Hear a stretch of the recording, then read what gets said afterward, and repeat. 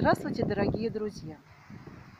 Я сегодня нахожусь в старинном городе Коломна, то, что в Московской области, и хочу вас познакомить с одним из интереснейших мест. Это вот крепостная стена, а вот это вот Михайловские ворота. Давайте мы сейчас к них пройдем и посмотрим, что же в них таинственного, что в них необычного. Мы спускаемся и выходим на мостик.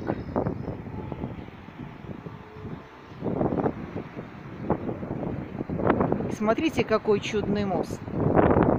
Он соединяет прошлое и будущее. Именно на этом мосту очень хорошо делать ритуалы по корректировке жизненных дорог. А постольку, поскольку на этот мост очень любят приезжать молодожены города в день своей свадьбы, то здесь еще и поселяется много-много духов радости и веселья. Итак, эта дорога из прошлого в будущее –